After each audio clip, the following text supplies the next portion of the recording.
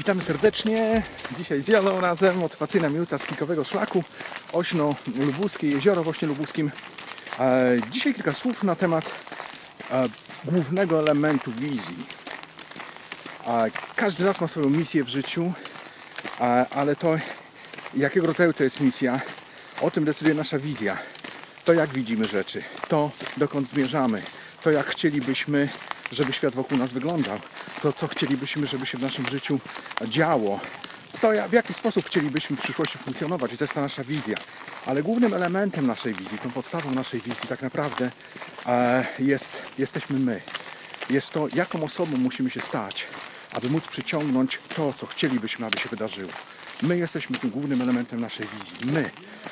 Z tym wszystkim, co potrzebujemy ze sobą zrobić, w jaki sposób potrzebujemy nad sobą pracować, aby stać się osobą, która jest w stanie przyciągnąć ten świat, o którym marzymy, te rzeczy, o których marzymy. Tyle na dzisiaj. Do zobaczenia jutro. Hej.